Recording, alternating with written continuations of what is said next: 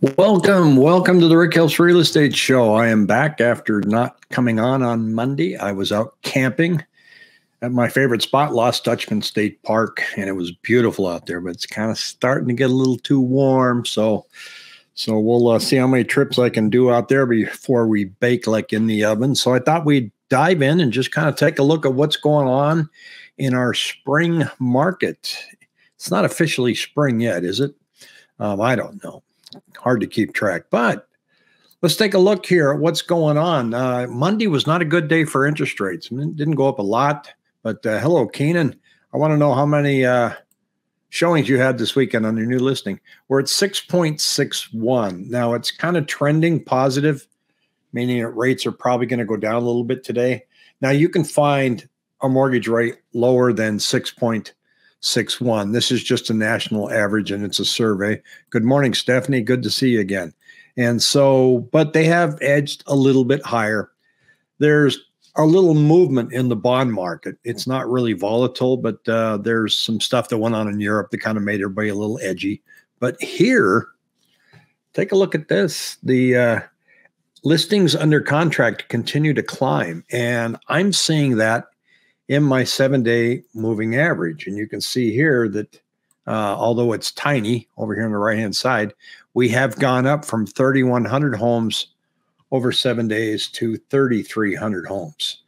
And uh, not a big jump, 200 homes. But as you can see on the ticker below, current inventory is below 13,000 now. So there's just not a rush to put new homes on the market. Um, and it's affecting um, choices out there for you. If you're out there looking to buy a home, there's uh, not much available. And here's the Cromford Market Index kind of starting to edge a little bit higher. And I wanted to put this into perspective too, because everybody likes to look at 2019. So that's the green line down here. Look at this. We're finally starting to reach, as far as the Cromford Market Index, the pre pandemic levels. Interesting. Sean says the rate of change of inventory reduction is increasing. I think let's take another look at that chart. Yeah, 13,000 yikes. Let's look at the actual number of homes that are on the market. I think I pulled it up. Um, I don't think the rate is, you know, we're not getting what do I want to say? How do I say this? It's not going down faster. It's continuing the same rate, but we are below our 2020 uh, inventory level. Now, right here, and this is where they told us to stay home. So everybody took their homes on the market. Nobody wanted people walking through. So so we can't compare to 2020 at all. So it's always helpful, I think, to go prior to that, go to 2019 and see where we're at and see. And, and again, that's the green line. 2019 at this time we had 17,000 618. I would like to see us above 17,000 with a 5.5 interest rate. If I could snap my finger, that's what I would pull up for everybody. Keenan here talking about his listing said overall it was a good first weekend, had four showings and one canceled. Agent said about 12 people came to the open house and got an offer, but too low under list price for me. Hang in there. You got an offer, that means you're going to get another one. Um, taking a look at average list price per square foot. This one's a little interesting to me in that barely moving up. So we're a little level there. And that's that's a good sign.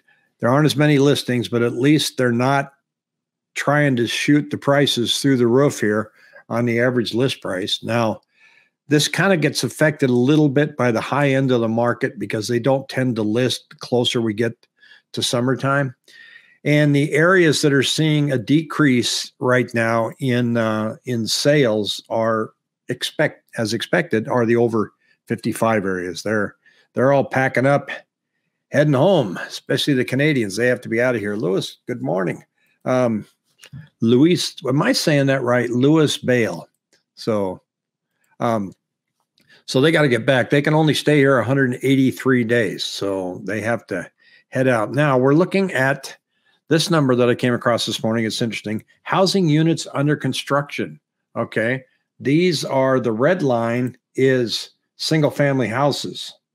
Okay. See how that's going down? The blue line is multifamily houses. interesting, huh? Two units or above. So there is a lot of multifamily apartments, uh, build to rent homes going under construction. Now, um, I don't know if they call count those build to rent homes as uh, multifamily. I don't think they do. So that would be included in that red line. Um, what do you think about listing over Mother's Day weekend? Um, you won't get a lot of foot traffic on that Sunday. Like if you were to have an open house, you wouldn't get much. Um, but with inventory being as low as it is, uh, people will go out and look at homes on that weekend. So I would not hesitate. Um, you know, get while the getting is good, I think is what I want to say. Um, you'll notice all the birds were gone on the golf course yesterday. they flew home. Yes, Terry, this episode is bonkers, trying to stay that way. Now, this part's interesting here. Very interesting comment by Janet Yellen, a Treasury Secretary. Says the banking meltdown could actually do the Fed's work for it, lower inflation without sparking a recession. Isn't that convenient? So if banks get into trouble, we won't have to raise rates and we won't have a recession and uh, and things will just work its way out. And we're going to have a smooth landing. She's saying last month the banking crisis in the US could still hurt businesses by making loans harder to come by. But Treasury Secretary Janet Yellen believes it could also help the U.S. economy find its way to the Goldilocks zone where growth slows down just enough that inflation peters out, but not so much to collapse. We will see how that works out. Uh, let's see. They got a comment here that says, just keep acknowledging your wrong forecast in September. Yeah, I think uh, I probably had a wrong forecast. I don't try to go out too far. Um, so I thought, I thought when interest rates came up that we were really going to see things uh, tank, and they did. You know, we came down 15 to 17 percent. I didn't see this turnaround coming while rates were still in the sixes. So we learn as we go forward, but at least we keep you on track of it here, DT. I'm in new home sales, San Tan Valley area. It's pretty consistent flow of traffic and sales. You guys are busy. I'm seeing that a lot. Um, are iBuyers being considered as distressed sales for appraisals? Would they include it or no? Um, they don't have enough traffic out there right now. Not enough sales. I think they only had maybe 200 last month. I'd have to look. Um, but no, it's not not hurting appraisals. That they're not calling them distressed um, because they're not a foreclosure. So Stephanie says, I've read yesterday the bank's credit squeeze may make it tighter to qualify for a loan. We're seeing some of that. Um, not seeing a lot. We're seeing more of it in the small business loans. Um, so we're not seeing, we're seeing a little bit tighter in the lending business for mortgages. Um, so not enough to knock people out. And most of the tightening that you see isn't so much the credit score as it is the debt to income ratio.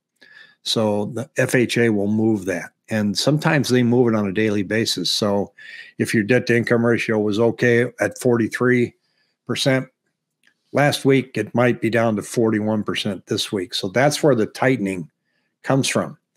Now, as far as migration, check this out. This is no surprise to anybody. This is showing where people are coming from. But this is um, clicking on the wrong thing there. There we go. This is from Redfin, and they base this on where people are searching. So moving from are the blue lines, and moving to are the what do I want to call this? Kind of a almost brown line. So a lot of people in California are clicking homes in other states. I want to leave. I want to leave. And where they're clicking is Arizona and Texas.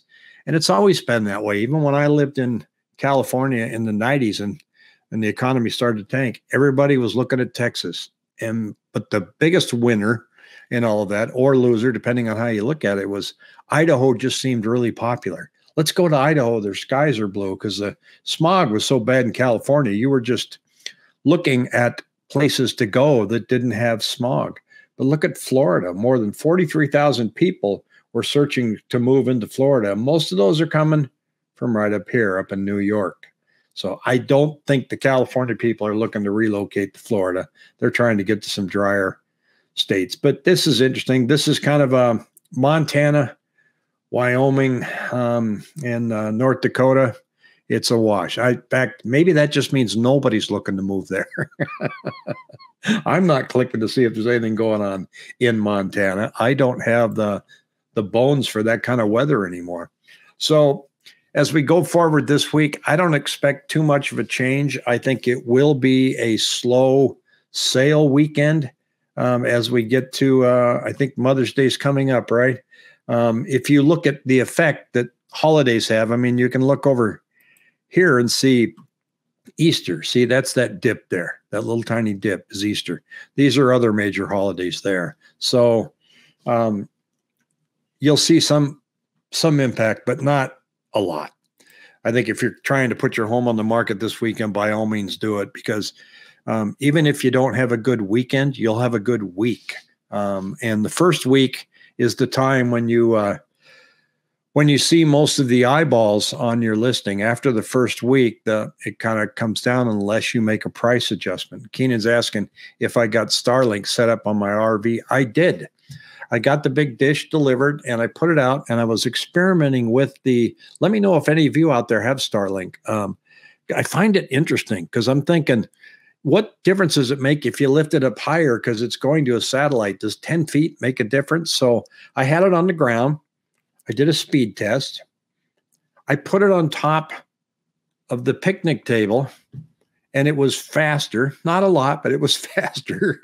I go, that's only three feet. So I took it over and I put it on the top of my pickup truck and it was faster yet again. So, okay, I'm going to go ahead and get the pole and I'm going to mount it on my, uh, on my RV and shoot it to the moon. But uh, it's, uh, it's pretty slick. I decided not to do a, uh, live stream yesterday morning using it because I just wasn't quite prepared, but I'm going to get that way um, because when I travel, I'm still going to keep up these uh, these shows. So DT, hey, stay here and hang in with me.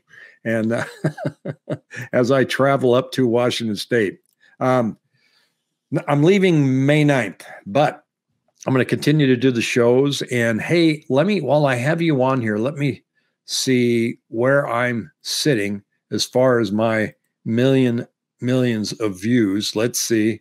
Let me check this out.